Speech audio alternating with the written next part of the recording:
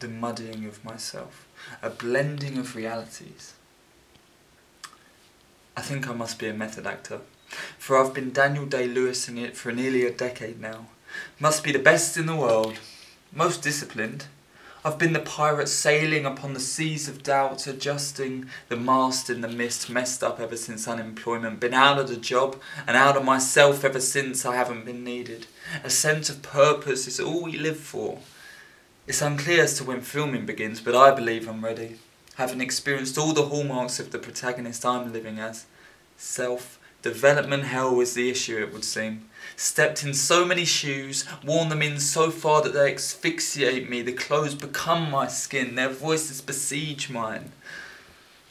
I've been nude King Priam, in a fetal position, knees dusted by the rubble, wailing amongst the caving in of the invasion. An old ruler transfixed on the violent ruin, paralysed and spluttering in trauma, shadow of a former shadow, powerless against the tidal blaze that rages incessantly. Yet maybe it's the best for me, for I've been Agamemnon cackling devilishly, sacking the great city of my heart consuming self-destructively, slithering over the brink of sack hope first, ask questions later, the purge style.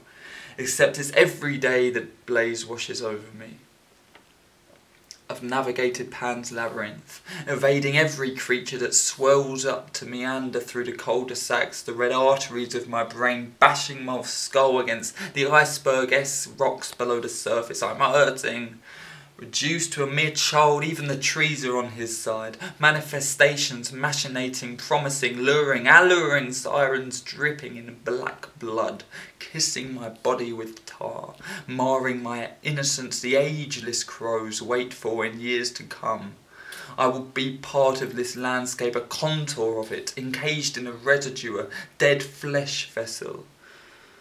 I've been Jack Torrance, upon the mountain tops, isolated, shunned, discarded on a vacation, trying to vacate my former skin, only for it to return cyclically as fiends that spring from the wells to promulgate themselves.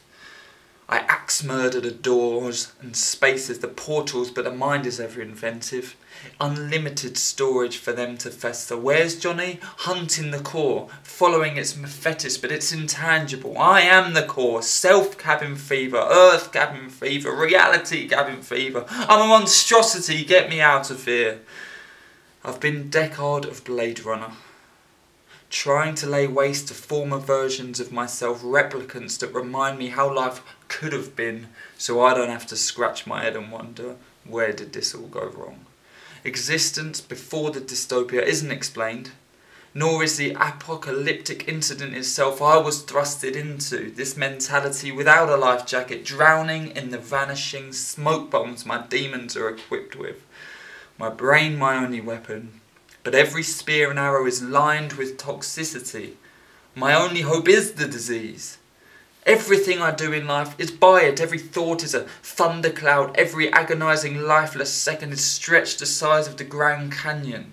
Every experience passes through checkpoint Charlie and becomes a festering, suspicious, subjected to overthinking. I've been myself for 12 years in a composite of cathartic characters for everybody else's emotions since. Beyond the threshold of touch, invisible when I enter the room, sit down, stand up, a man on surface level, drifting through, made of clay, gooey-minded skeletal shell, earth-surfaced hell, but no one can tell. No past, no future, existing in a predestination paradox of endless self-deception and self-destruction. Every voice, rupturing introspective song, an offering to God, a showroom of worthiness of salvation.